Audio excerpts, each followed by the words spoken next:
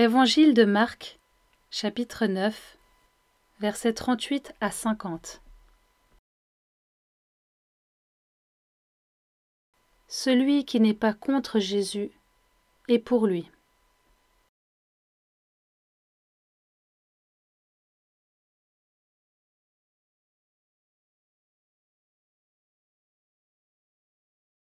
Jean dit à Jésus, Maître, nous avons vu quelqu'un qui chasse les esprits mauvais en ton nom.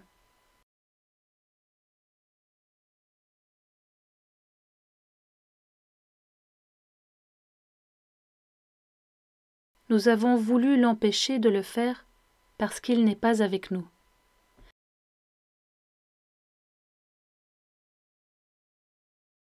Jésus lui dit, Ne l'empêchez pas. En effet, si quelqu'un fait un miracle en mon nom, il ne peut pas dire du mal de moi tout de suite après.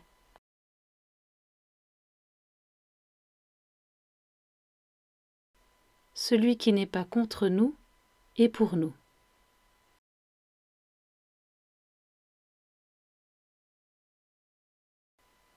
Je vous le dis, c'est la vérité. Si une personne vous donne à boire un verre d'eau parce que vous appartenez au Christ, elle recevra sa récompense.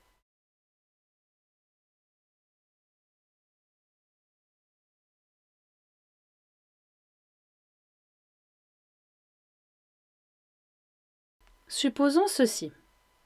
Quelqu'un fait tomber dans le péché l'un de ces petits qui croient en moi.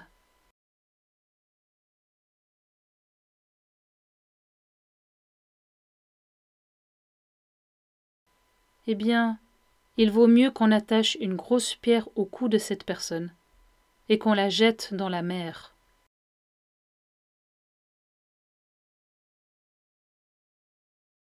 Si ta main te fait tomber dans le péché, coupe-la.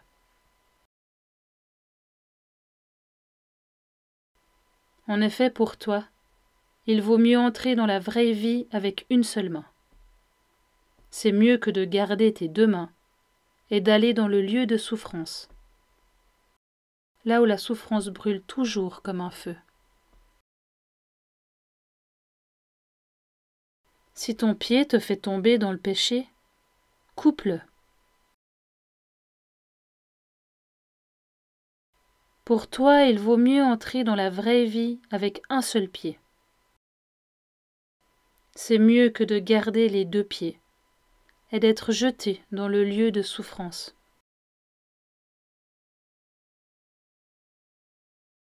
Si ton œil te fait tomber dans le péché, arrache-le.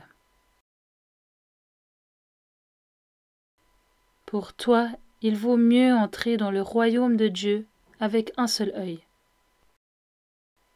C'est mieux que de garder les deux yeux et d'être jeté dans le lieu de souffrance.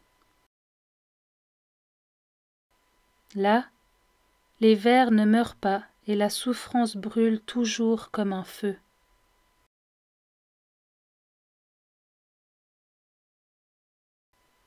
Tout le monde passera par le feu de la souffrance et recevra du sel pour devenir pur.